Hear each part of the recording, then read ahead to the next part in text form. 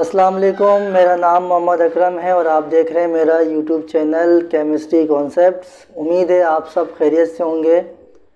आज का जो हमारा टॉपिक है, वो है आइसोटॉप्स बहुत ही इम्पोर्टेंट टॉपिक है और बहुत ही इजी टॉपिक है।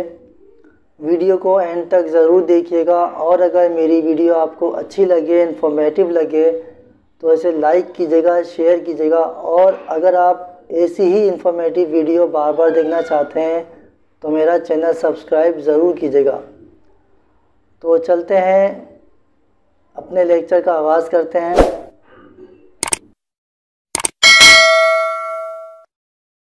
Isotopes atoms of the same elements having same atomic number but different mass number are called isotopes एक जैसे एलिमेंट्स के जो एटम्स हैं, उनका एटॉमिक नंबर सेम हो, लेकिन मास नंबर डिफरेंट हो।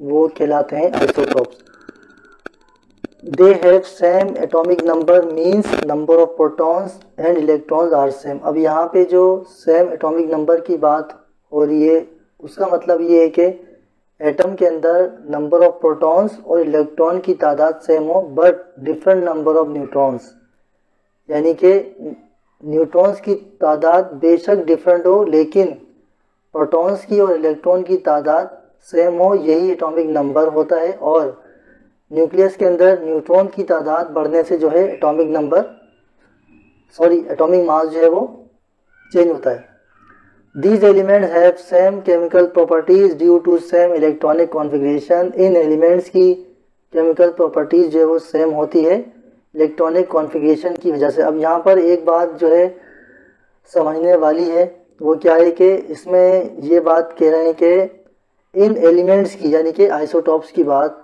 हो रही, है इन एलिमेंट्स की जो है, केमिकल प्रॉपर्टीज़ जो है, वो एक जैसी होती हैं, इलेक्ट्रॉनिक कॉन्फ़िगरेशन की वजह से, क्योंकि इनके अंदर एटॉमिक नंबर सेम होता है। एटॉमिक नंबर चेंज नहीं होता, यानी कि इलेक्ट्रॉनिक कॉन्फ़िगरेशन का ताल्लुक जो है, वो एटॉमिक नंबर से होता है। आपको याद होगा, जब मैं इलेक्ट्रॉनिक कॉन्फ़िगरेशन आपको पढ़ा रहा था तो उस वक्त मैं एटॉमिक नंबर की ही बात कर रहा था। एटॉमिक मास की बात नहीं कर रहा था। But different physical properties due to difference in mass number लेकिन फ़िज़िकल प्रॉपर्टीज़ जो हैं वो डिफरेंट होती हैं मास नंबर में फ़र्क होने की वजह से। यानी कि फ़िज़िकल प्रॉपर्टीज़ का जो ताल्लुक है, अब किससे हुआ? यहाँ पे मास नंबर से हुआ और इलेक्ट्रॉनिक कॉन्फ़िगरेशन का ताल्लुक किससे हुआ? यहाँ पर एटॉमिक नंबर से। अब हमारे पास एक एग्ज़ाम्पल है आइसोटॉप्स ऑफ़ हाइड्रोजन की जो हम अक्सर पढ़ते हैं। There are three isotopes of hydrogen hydrogen के तीन आइसोटॉप्स होते हैं। These are known as protium पहला प्रोटियम दूसरा ड्यूट्रियम एंड थर्ड ट्राइटियम यहाँ पर आप स्क्रीन पे एक डायग्राम देख रहे होंगे, जिसके अंदर तीनों आइसोटॉप्स मेंशन है। हम लेफ़्ट टू राइट जाएँगे। पहला वाला जो एटम है, उसके अंदर आप देख रहे होंगे कि सेंटर के अंदर सिर्फ़ एक ब्लू कलर का जो जो सर्कल है, वो शो कर रहा है कि एक प्रोटॉन है। और ऑर्बिट के अंदर जो है, वो इलेक्ट्रॉन जो है, वो आप देख रहे होंगे। यहाँ पे कोई न्यूट्रॉन नहीं है। लिहाजा इसका जो एटॉमिक नंबर है, वो वन है, चूँकि प्रोटॉन की तादाद कितनी है, वो वन है। इसलिए एटॉमिक नंबर वन है और एटॉमिक मास भी इसका वन है क्योंकि number of proton plus number of neutron ये कहलाता है मास नंबर तो मास नंबर भी इसका वन है और एटॉमिक नंबर भी वन है। ऐसा आइसोटॉप जिसका मास नंबर भी वन हो एटॉमिक नंबर भी वन हो, उसको हम प्रोटियम भी कहते हैं। और ये लाइट वाटर कहलाता है। लाइट वाटर वो होता है जो हम आमतौर पर डेली रूटीन में वाटर इस्तेमाल करते हैं। नेक्स्ट जो हमारा आइसोटॉप है, उसके अंदर आप देख रहे होंगे कि एक न्यूट्रॉन का इजाफा हुआ है, जो कि पिंक कलर शो कर रहा है। अब यहाँ पे क्या हुआ? प्रोटॉन की तादाद तो सेम है, लेकिन एक न्यूट्रॉन ऐड होने की वजह से इसका मास नंबर चेंज हो गया, यानी कि एक प्रोटॉन हो गया, एक न्यूट्रॉन हो गया, इसलिए इसका एटॉमिक मास क्या हो गया? टू हो गया, लेकिन एटॉमिक नंबर इसका सेम ही है। इस आइसोटॉप्स को हम ड्यूटियम के नाम से भी जानते हैं। और ये हैवी वाटर भी कहलाता है। थर्ड की तरफ़ हम बढ़ते हैं। थर्ड में क्या है कि दो न्यूट्रॉन यहाँ पर ऐड हैं। दो पिंक कलर के जो सर्कल हैं, वो वो न्यूट्रॉन को शो कर रहे हैं, जबकि ब्लू कलर का जो सर्कल है, वो प्रोटॉन को शो कर रहा है। इसी वजह से यहाँ पे एटॉमिक मास क्या हुआ? एन न्यूट्रॉन दो हैं, एक प्रोटॉन है तो एटॉमिक मास क्या हो गया? थ्री हो गया। प्रोटॉन की तादाद अब भी सेम ही है तो इसलिए एटॉमिक नंबर चेंज नहीं होगा। इस आइसोटॉप्स को हम कहते हैं ट्राइटियम जो कि रेडियो एक्टिव के नाम से भी जाना जाता है। अब हम अब हम बढ़ते हैं। एक एग्ज़ाम्पल है, हमारे पास कार्बन की भी हमारे पास एग्ज़ाम्पल है, जिसके आइसोटॉप्स होते हैं, उसकी तरफ़ हम बढ़ते हैं। There are three isotopes of carbon carbon के भी तीन आइसोटॉप्स होते हैं। The carbon twelve contain six proton and six neutron carbon twelve जो है, वो कार्बन जिसका एटॉमिक मास ट्वेल्व होता है, उसके अंदर छः प्रोटॉन होते हैं और छः न्यूट्रॉन होते हैं। डायग्राम में भी आप देख रहे होंगे कि लेफ़्ट से राइट की तरफ़ हम जाएँगे यहाँ भी। लेफ़्ट वाला जो एटम है, उसके अंदर छः प्रोटॉन है और छः ही न्यूट्रॉन है। इसीलिए इसका एटॉमिक मास क्या हुआ? ट्वेल्व हुआ और एटॉमिक नंबर कितना हुआ? सिक्स हुआ। नेक्स्ट की तरफ़ बढ़ते हैं हम कार्बन थर्टीन ये भी आइसोटॉप्स है कार्बन का, जिसमें छः प्रोटॉन तो हैं। सिक्स प्रोटॉन वही हैं, लेकिन नंबर ऑफ़ न्यूट्रॉन एक ऐड हो जाता है इसके अंदर सेवन जिसकी वजह से इसका एटॉमिक मास क्या हो जाता है? Six plus seven thirteen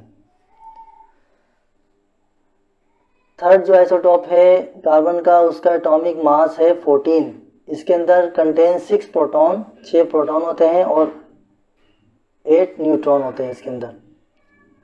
इसी तरह जो है इसका एटॉमिक मास फोर्टीन हुआ और एटॉमिक नंबर इसका सिक्स हुआ।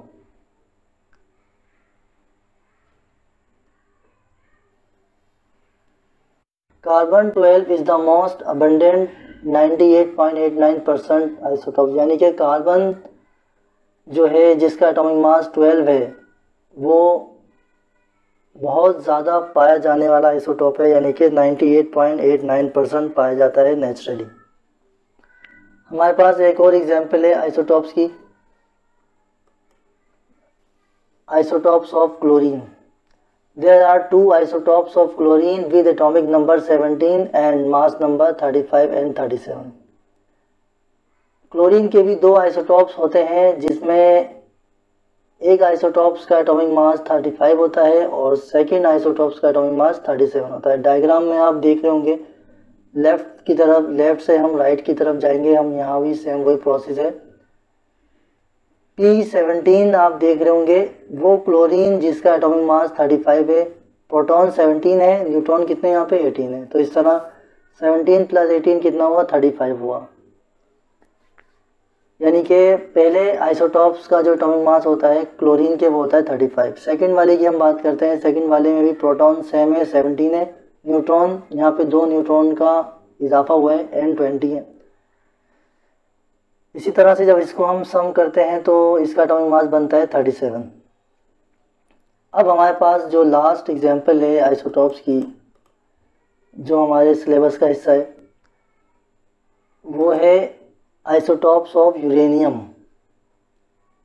there are three common isotopes of uranium uranium के आम तौर पर तीन आइसोटॉप्स होते हैं. With atomic number atomic number क्या होता है इनका? 92 होता है.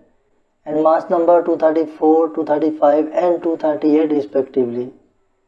यानी कि पहले वाले आइसोटॉप्स का 234 है सेकंड वाले आइसोटॉप्स का 235 है थर्ड वाले आइसोटॉप्स का 238 है। यहाँ पे भी आप डायग्राम में देखेंगे तो एटॉमिक नंबर जो है वो सेम है लेकिन एटॉमिक मास जो है वो बढ़ रहा है। वो 234 है 235 है और 238 है।